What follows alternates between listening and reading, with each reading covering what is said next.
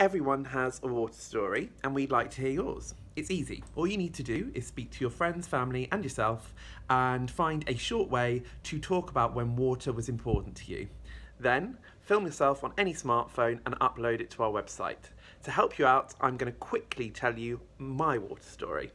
So when I was about seven or eight years old, I was playing in the garden on a really hot summer's day and my mum sprayed me with a hose when I was at the top of a climbing frame. I fell off and I cut my stomach. Don't worry, I was fine.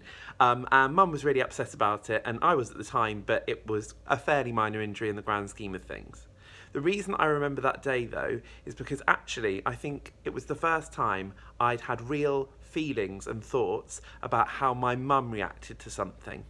And so on that day, water was a really important part of that story. So if you've got your story to share, please send it across to the Water Stories website.